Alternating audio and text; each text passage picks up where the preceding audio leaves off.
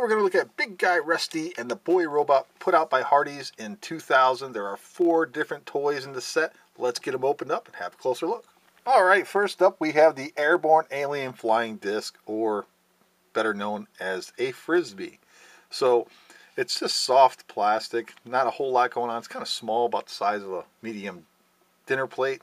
And you can see right here on the sides it has picture of four different aliens. There's one, there's another, there's one more, and last is this guy right there. Very nice. And next up is the Big Guy Stomper Wind-Up Walker. Look at this thing, huh? On the back here you can flip this back panel down. It reveals some of his robot stuff in there. That's pretty neat. And all you do is wind up this little thing on the side here We'll wind this up and then there are a couple little feet at the bottom. You can see there. And set him down and there he goes. And next up is Big Guy Jumper Blast Off toy. Look at this thing, huh? So there's a little rubber suction cup down here on this base. And all you do is push it down just like this. And there you have it.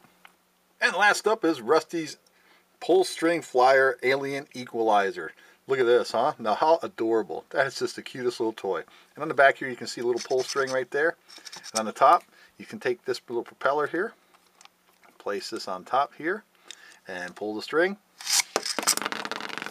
and it takes off flying.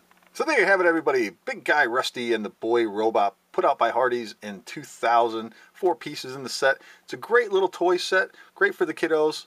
Thanks for watching everybody. Take it easy. We'll see you next time.